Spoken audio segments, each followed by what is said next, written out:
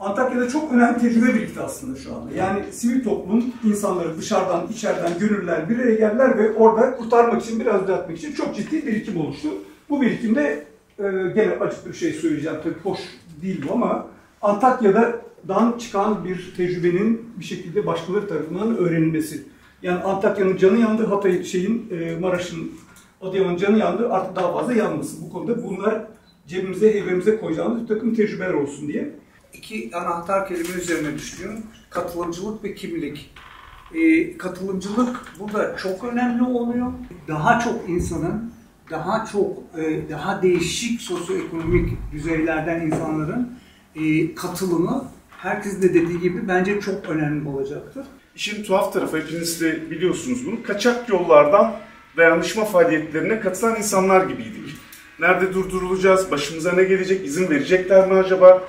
Bu dayanışmanın bir parçası olmamıza. Yani bu şeyi gösteriyor. Bir taraftan kamu otoritesi yani karar vericilerle dayanışma için bir şeyler yapmak isteyenlerin uyumsuzluğunun nelere mal olabileceğini de gösteriyor. Terk edildiğini düşünen bir grup insan, halk var, yıkılmış bir kent var ee, ve devletin yardım etmeyeceğini bilen de bir şey var. Yani bu bir sadece bir algı değil, bir bilgi boyutunda ve biz oradayken böyle bir devlet desteğine tanık olmadık. Orada bulunan dayanışma içerisinde olan insanlar da e, daha önce bu memlekette hiçbir doğal afet olmamış, deprem olmamış gibiydik. Oradaki bütün insanlar gibi.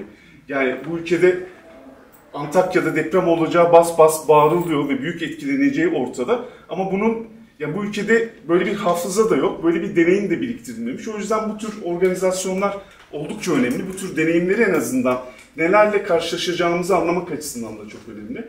İnanılmaz bir koordinasyonsuzluk vardı. Yani devlet zaten yok diyelim. Sivil toplum da aslında yoktu. İzmir'de deprem olursa İzmir göçecek, STK'lar da göçecek.